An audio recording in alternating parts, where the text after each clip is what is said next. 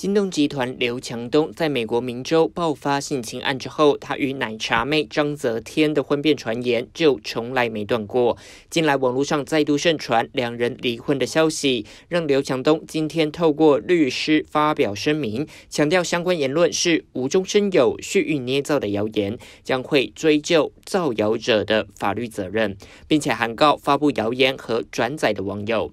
这已经不是刘强东夫妇第一次传出婚变消息了。根据苹果日报指出，日前张泽天不惜低价抛售刘强东赠送的高价豪宅，售价比入手时整整少了两百七十万澳币。外界就猜测两人正在准备离婚分割财产。婚变传言满天飞，也让双方亲人急跳脚。网易报道，张泽天的父亲张立厚在接受媒体访问时斩钉截铁表示，女儿与刘强东之间没有离婚这回事，但他也拒绝对两人的相处状态多做回应。